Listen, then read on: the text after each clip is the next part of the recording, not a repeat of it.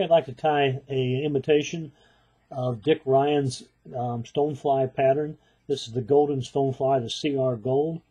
Uh, for those of you who live in the state of Missouri, you probably know that CR stands for Current River. Dick originally designed this fly to fish in the Current River.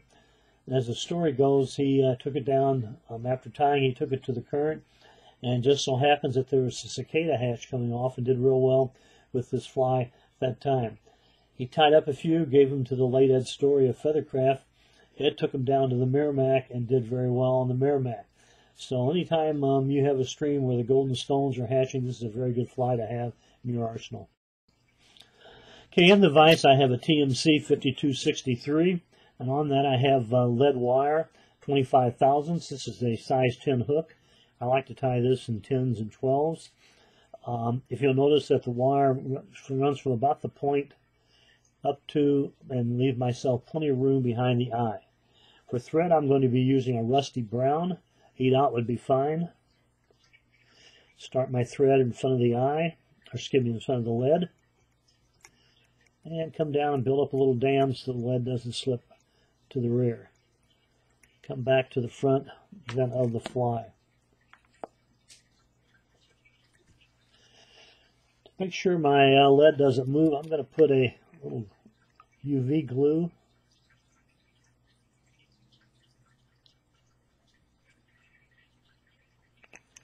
on both sides. This is a Solar. It's a very good, um, very good UV glue.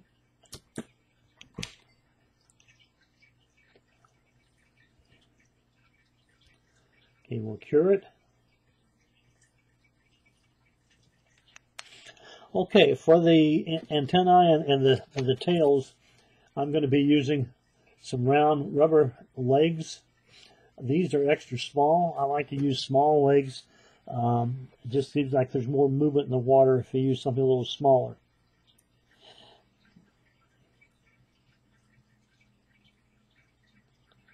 Okay, I'm going to take a pinch wrap, leave plenty of leg over the front. I can always cut them off with plenty of antennae. Always cut them off. And then I'm going to stretch my material or my rubber legs down the shank down to a point on the shank that's right above the barb. Here again, I'm going to cut them off fairly long. I can always make them shorter. Okay, for the body of the fly, I'm going to be using a golden yarn. This is um, some that's prepared um, at Feather, uh, excuse me, Hargroves. I'm not sure whether you can buy this, but any kind of golden yarn would work fine.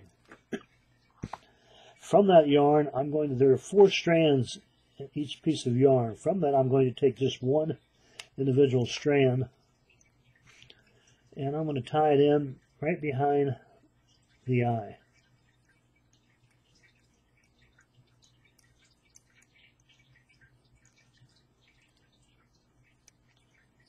Here again, we'll go down two point on the shank right above the barb. Okay, there's a little bit of a drop off here, so we'll build up a little slope to keep our material from sliding as we bring it forward. Okay, I'm going to bring my my thread all the way back to behind the eye once more. And for the thorax, I'm going to be using some peacock herl. I'm going to take six or eight strands of peacock herl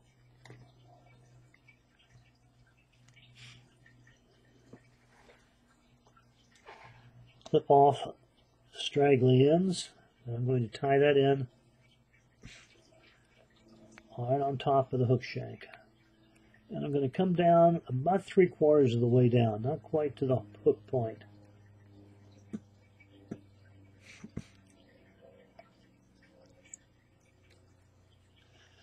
Okay, at this point, I'm going to tie in some hackle, looks like legs. I've got some brown hackle.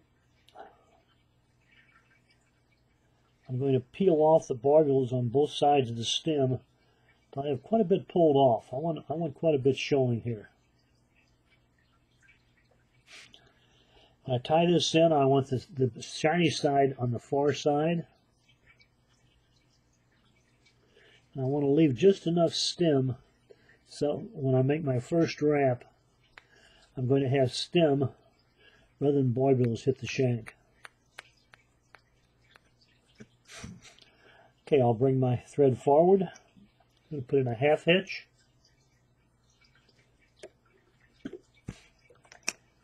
I'm going to use my rotary, so in order to keep all this material out of my way, I'm going to bring it forward and just make one loop over the shank to hold it in place.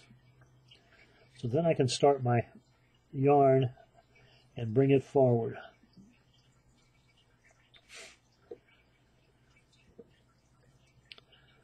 Okay, when I get right up to thorax, I'm going to stop and undo my material.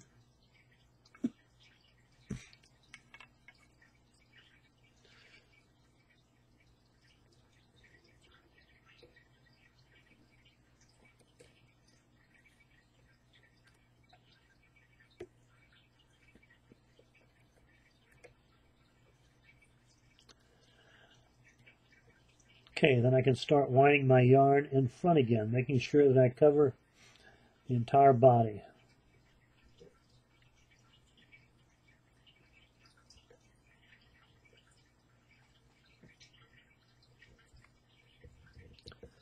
Okay, looks like I got a little drop off there, so I'm going to build up just a little ramp so my material don't, doesn't slide forward. Okay, then I can go ahead and finish my wrap and tie it off.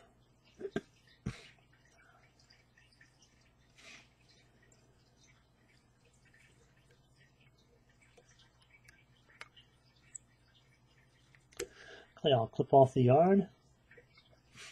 And again, I'm going to put in a half hitch.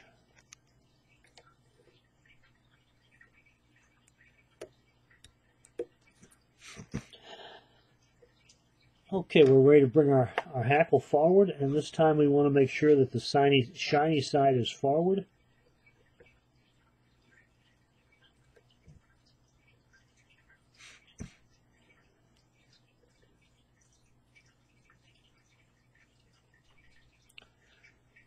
Okay, then we'll tie off our hackle.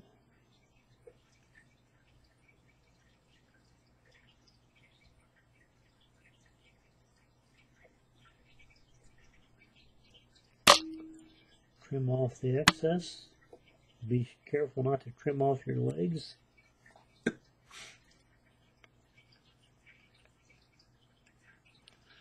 we got a head formed.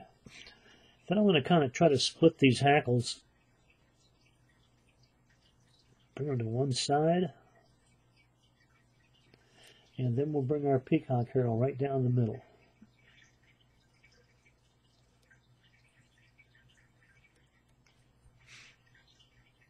Tie it off.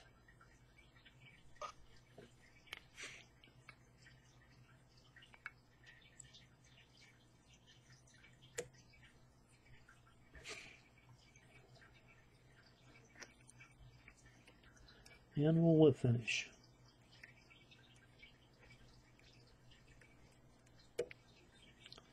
It looks like we got a piece in there.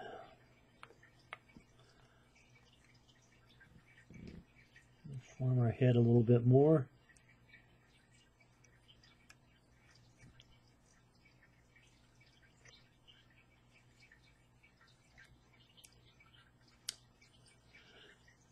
Okay, what we're tying is, I believe, to be a variation of, of Dick's pattern.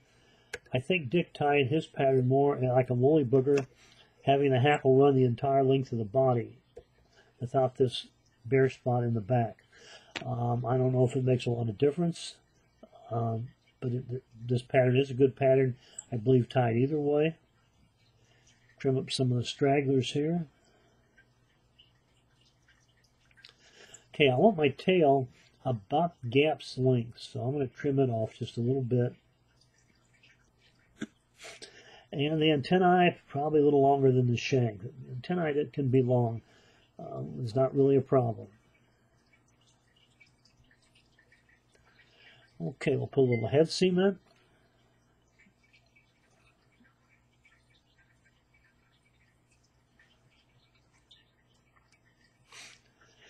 And there we have a variation of Dick Ryan's CR Gold.